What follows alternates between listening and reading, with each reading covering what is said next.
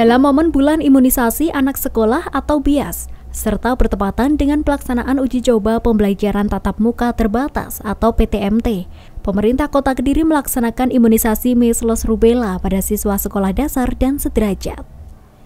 Imunisasi ini diberikan untuk melindungi anak-anak dari penyakit campak dan rubella, serta untuk mempertahankan kekebalan tubuh.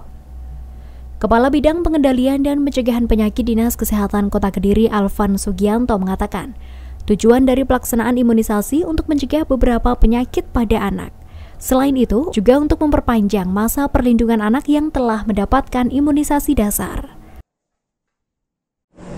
Bias ini bisa dikatakan sebagai booster ya, sebagai booster. Jadi untuk ah, apa dapat imunisasi baru sehingga kekebalan tubuhnya dapat dipertahankan dalam waktu yang lama. Hmm. Sasarannya Sasarannya? Sasarannya adalah anak usia sekolah dasar, ya, mulai kelas 1, kelas 2, dan kelas 5 SD.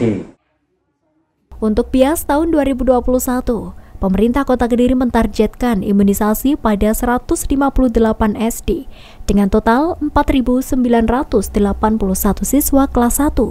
Selain kelas 1, untuk siswa kelas 2 terdapat 5.224 siswa dan kelas 5 sebanyak 5.562 siswa juga akan mendapatkan imunisasi measles atau MR. Pelaksanaan imunisasi ini sendiri akan dilakukan sampai bulan November mendatang.